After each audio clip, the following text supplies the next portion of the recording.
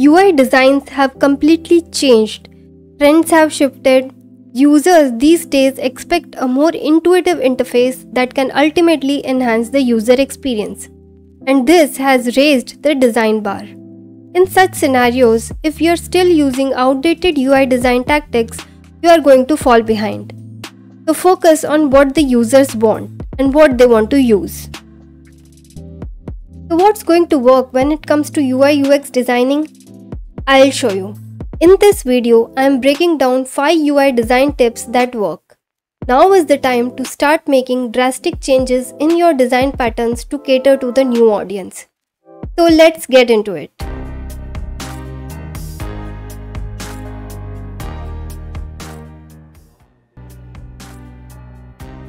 Tip number 1 Start embracing calm and clean designs and ditch those flashy screens. In 2025, users are exhausted by visual noise. Instead of overloading the screens with excessive text, layouts, gradients, and shadows, you must focus on clarity. Use space intentionally. Neutral colors with one bold accent can do more than rainbow palette. Let the layout breathe. Designs that feel calm and clean are getting more traction than ones that are trying to impress with every pixel.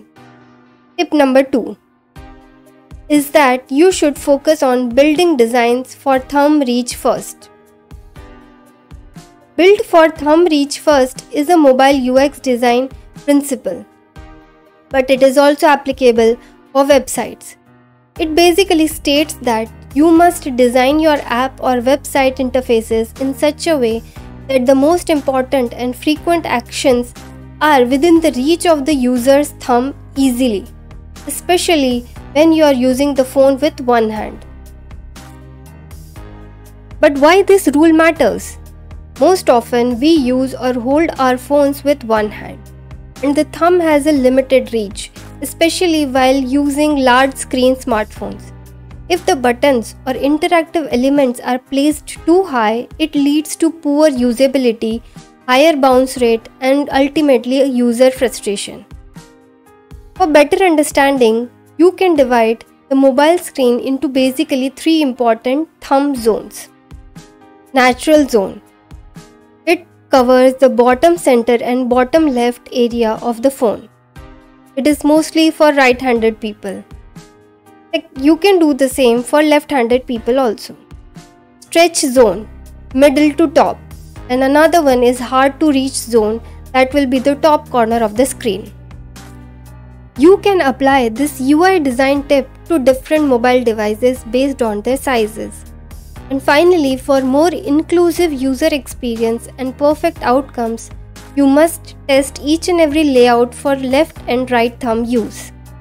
Now you are clear as to where to apply the rule, but how and for which action will you use it? Now, you can use the thumb reach first rule for bottom navigation bars, floating action buttons, and swipe gestures. For example, the add to cart button or send or edit or write buttons should be placed within the thumb zone. You must avoid top mounted menus for critical actions. For instance, if you place the hamburger menus or close buttons at the top right corner, it becomes harder to perform the action with the thumb tap. This totally destroys the user experience. Another thing that you should consider is to use bottom sheets or modals.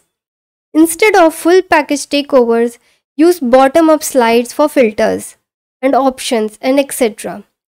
It will not just enhance the accessibility but also the overall look of the application. Finally, your UI design should focus on improving the feasibility of actions for both hands and not just one. Tip number 3 is to use fewer fonts and smarter hierarchy. Typography is your silent guide. In 2025, using fewer fonts, even just one, can be the game changer.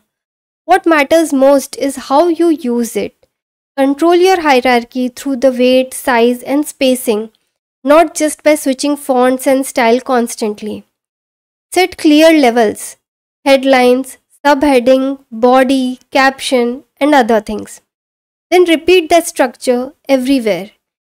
When the type is consistent, users don't have to figure out what you are saying. They just have to read it naturally.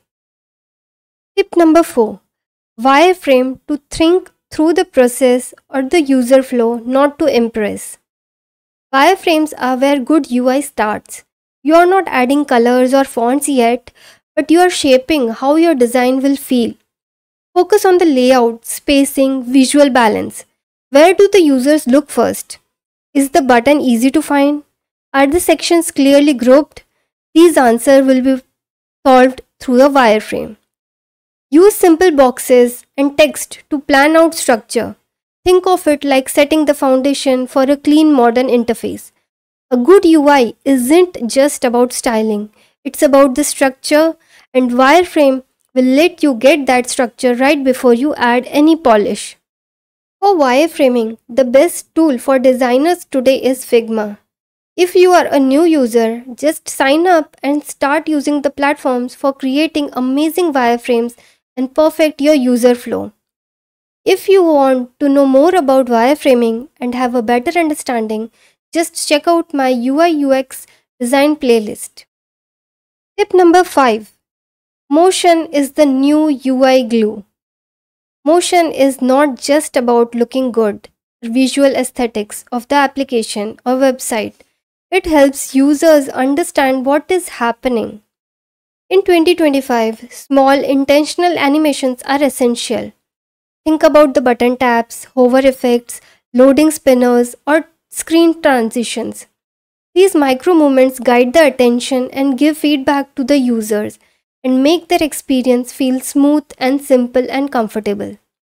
A good motion makes interface feel alive, but it should always be fast and subtle and purposeful if you want to learn Motion UI, here are some tools that will help you to create some of the best transitions and effects. First one is Figma. Figma Smart Animate is one of the great tools for prototyping basic transitions and micro interactions.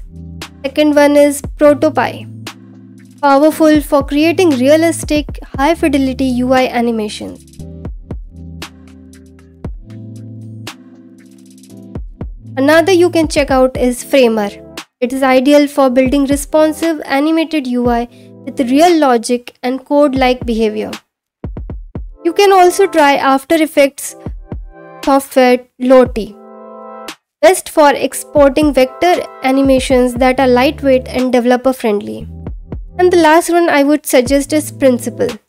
It is excellent for timeline based UI animations and interface for flow testing.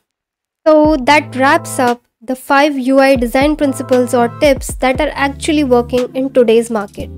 It is no longer about the flashy visuals or tacky designs or transitions.